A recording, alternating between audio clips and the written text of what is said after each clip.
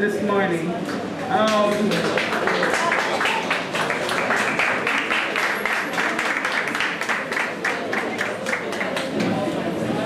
President Hall, can you please come up here to the podium,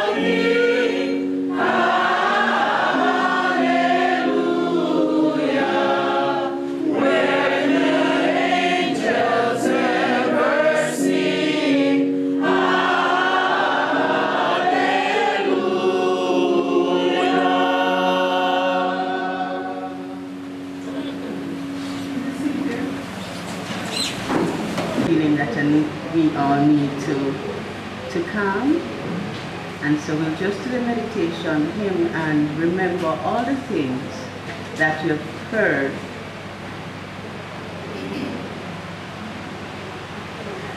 So we'll do the meditation hymn and I'll try to sing it slowly so you can meditate and we will all join me. Follow Christ and love the world as he did when he walked upon the earth. Não me,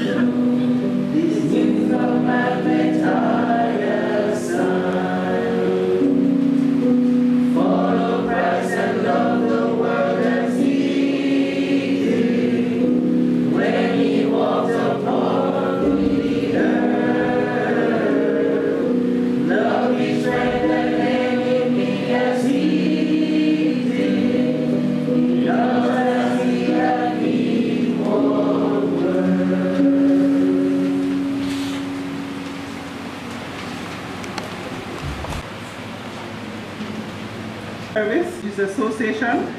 We anticipated his his greetings, not greetings, his speech, his keynote speech yesterday. But I guess he will explain to you why he had no bookings yesterday. And I see he has brought his gracious wife so that we cannot um, penalize him too hard because the lady is here to, to pay penance as usual. Um, and it says, they, they say that the, in, in behind or beside a successful man is a successful woman. So the successful woman will be protecting him today from any kind of backlashes that he might deserve or not deserve, but he will defend himself, I'm sure.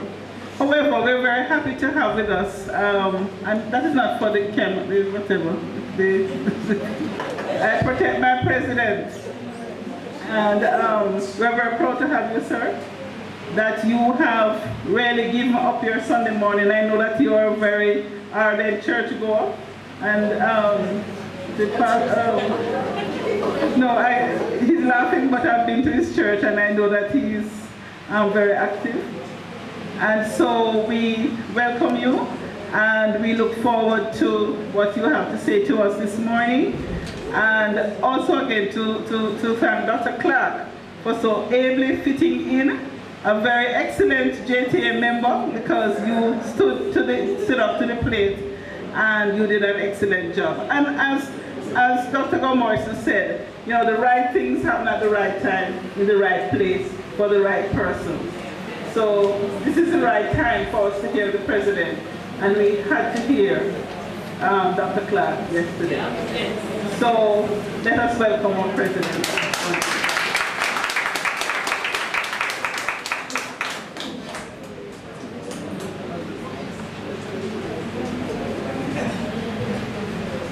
Good morning,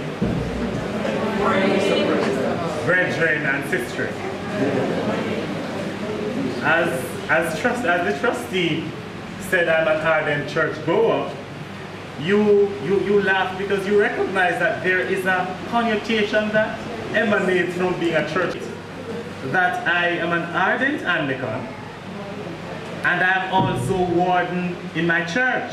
So not just church goer, right, right, right. Right, Dr. Scott? Colleagues, I must firstly apologize for the mishap that occurred yesterday. I too want to thank Dr. Clark. And when I came to the door, I heard the, the, the, the Reverend speak of him in a very handsome way. The only reason I will not rebut it is because he stepped up to the plate and did a good job for me yesterday. So I want to thank you, Dr. Clark. Colleagues, there are things that happen and some of these are outside of our control, whether by accident or by intent. It was always my intention to be here and Dr. Hamilton indicated that she would pull my toenails and my fingernails. And as such, I ensured I brought my defense. and when she saw my lovely wife, she only smiled. So I think I'm off the hook. But colleagues, this morning I want to talk to you on three basic topics, well, and, and very briefly. And I hope that the statements I will make will not cause your breakfast not to go down as well as you would have loved it. But I want to indicate from the onset that despite the many negative criticisms that education and the education sector, and certainly the practitioners therein, have received in recent times, if the other sectors in Jamaican society performed as well as education did, then we would have no need for an IMF agreement.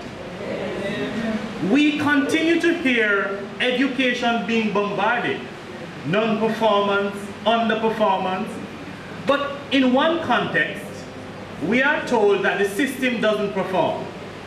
But in the other context, by the same persons who beat the system down, you are hearing that we are unable to find student loans to adequately finance the number of persons who have matriculated.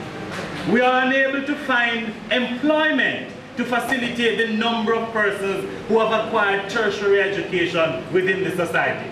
And then we stop to ask, how is it that the same persons who say the system is not performing are the same ones who can't perform at the standard so as to absorb the production of the system? We must, as educators, recognize that the arguments you hear must never always be internalized. The old adage says, it is the sign of an intelligent man to hear much and not believe all. It is important for us to recognize that over centuries, teachers have done remarkably well to ensure that tomorrow's generation is enhanced. But I want to, instead of just finding fault and point, pointing to where are the deficiencies, I want to be better than my previous self. And I want to, at this point, articulate what I think could be solutions to many of these problems. I want us to start off where it all begins, early childhood education. Amen. We have recognized that in this society, we have not had a shortage of places in early childhood education. We have been able as a nation, by whatever means, most of these have been what we call veranda schools, or certainly where they are coming from. And I am not at this point bashing veranda School because they played a pivotal role in the developmental stage at that time. Yes. However, where we are now, it is going to be important for us to get it right the first time. And at this point, I borrow that saying from the Minister of Education. I hope that he will recognize that simply saying getting it right is by no means an indication that it will so be done. You can't indicate that we should get it right when the first budget you have to articulate, the early childhood education pie, is cut by 200 million. You can't intend to get early childhood education right if the revised estimates of expenditure see an additional cut in the early childhood budget. It is time for us not just to talk about it, but to be about it. We must not just say early childhood education is important, but in all that we do, we must ensure that we start it out in that correct manner. Now, when you consider how a child learns, it is grossly important for you to ensure that that child is given the right tools to begin with. How many of you have learned to type using both index fingers? I suspect that you are all expert typists using all your fingers. The simple analogy I would like to draw is for you to recognize that if you ever learned to type using both index fingers as I did, the chances of you learning to type in a formal manner is significantly compromised. Because you would then be forced to unlearn that learned behavior and then to learn a new one. If we fail to provide students at the three to five age group with authentic learning experiences that are valid and that the concepts are clear and correct, we are going to find that we would have been creating persons for which remediation is necessary. And, and remediation is expensive. So first up, I would indicate that we need to pay primary focus on early childhood education. The other thing I would love for us to look at is the issue of the teaching of English as a second language.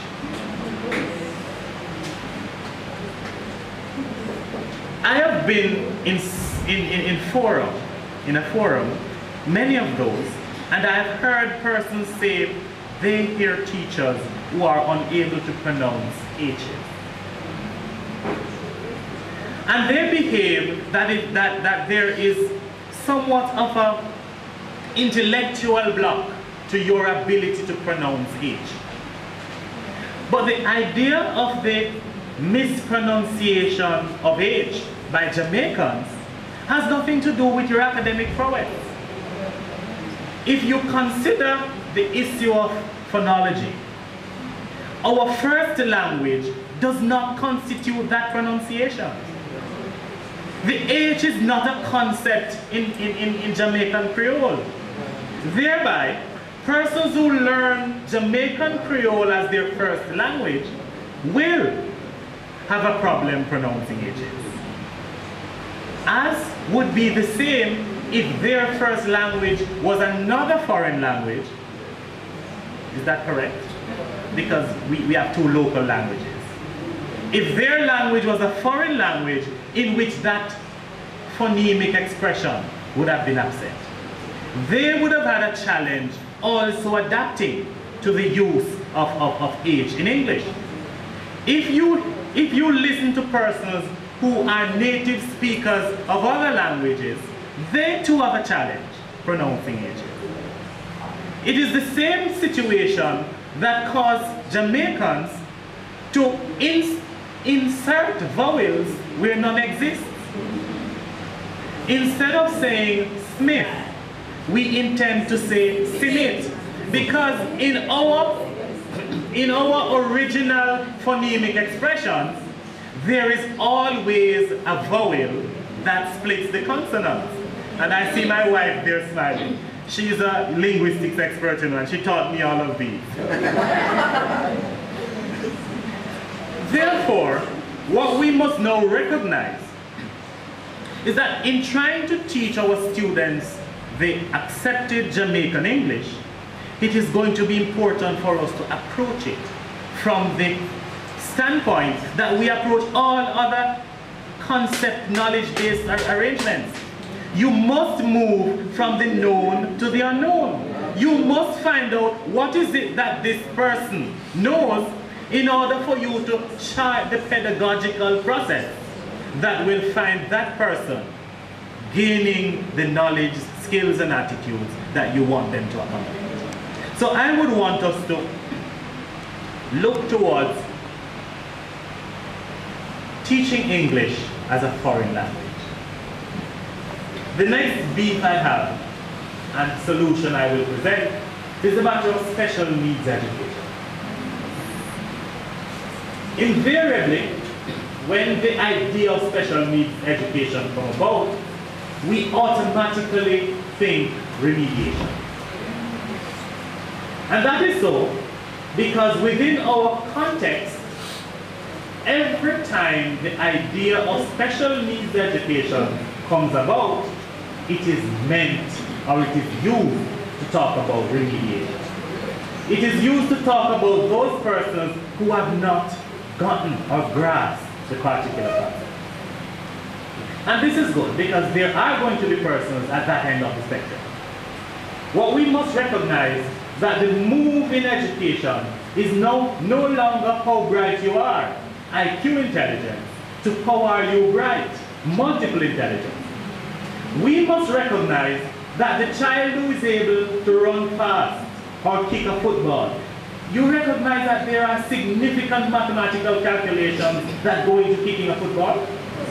When a child see a ball coming towards him or her, that child must calculate the speed at which that ball is going.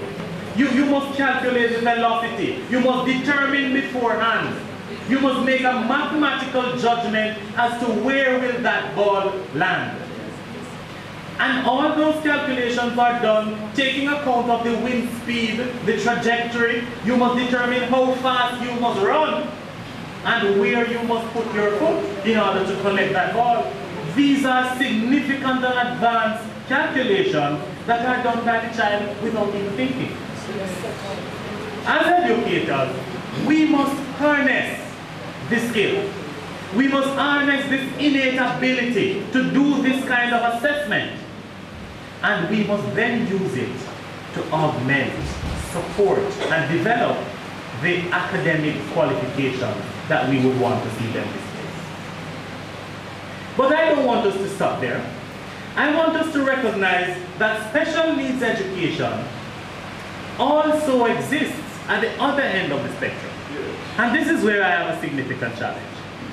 We have no programs, no processes, and certainly to my, my knowledge, there is nothing in the context of the education system that caters to our students who are gifted. And like, like the remedial, who will need specialized attention to develop themselves, the gifted also need specialized attention. They present a whole new spectrum of problems. A child who is academically astute runs the very clear and present risk of becoming an underachiever. That child becomes exceptionally bored with regular classroom routine. It is incumbent on the teacher. It is incumbent on all of us to see how best we can provide enrichment activities to ensure that we keep these students motivated. In the same way, nation building will not be advanced unless we seek to get the remedial up to productive level. It will also not be advanced unless we find a way of tapping into the skill sets of the exceptional.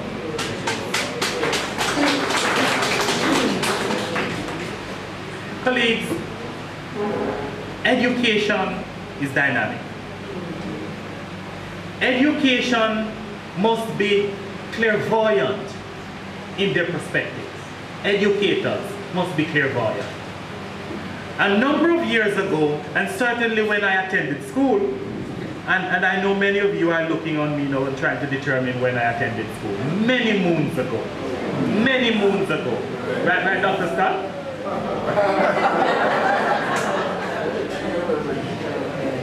The, the, the common mistake that is made is that persons look on my handsomeness and ah. mistake it for you. but certainly, when I attended school, if you were bright, you did the sciences. And if you were not that academically advanced, you did the business subjects and agriculture. Certainly, in my short lifetime, I have seen where the not so bright, who were relegated to doing business, are now the employers of the bright ones who did the sciences.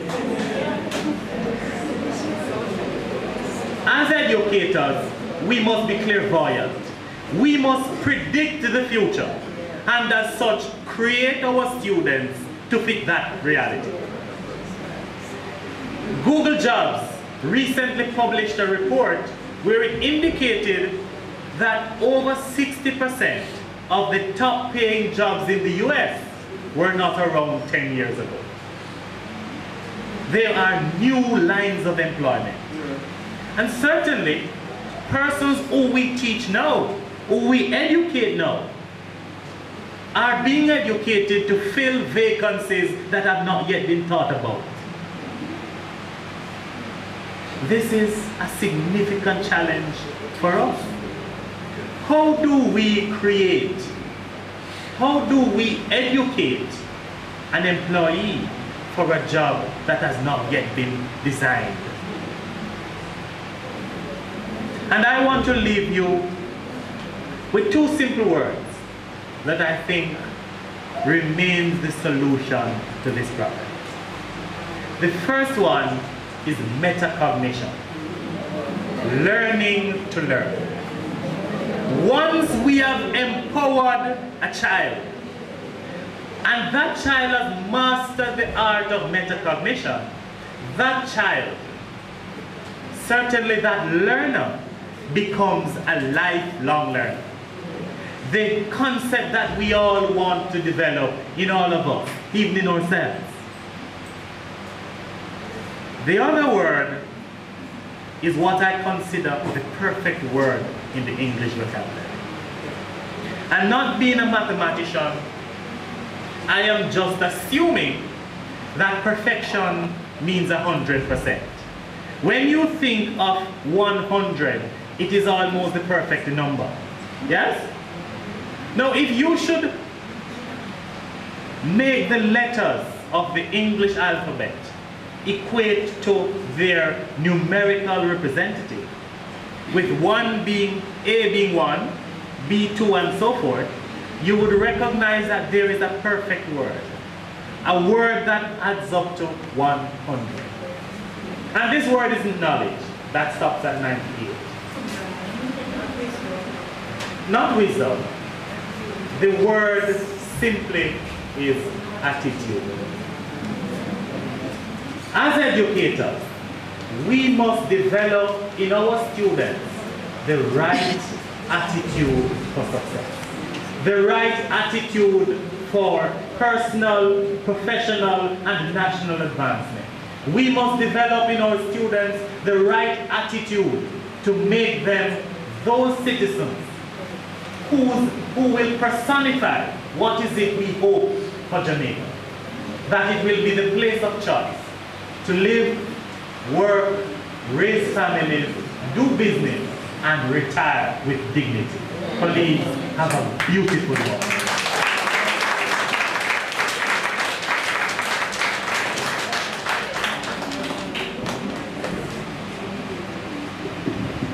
What a beautiful way to end our service.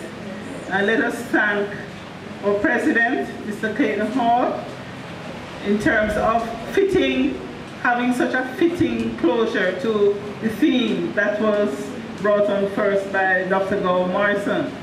At this point we will we will we will ask remember to do a presentation for us.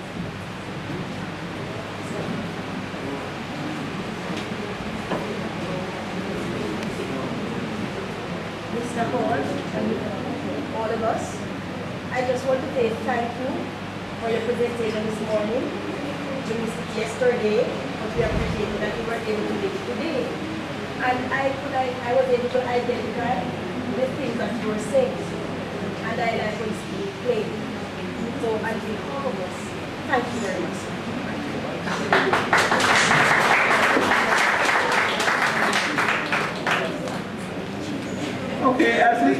And as we.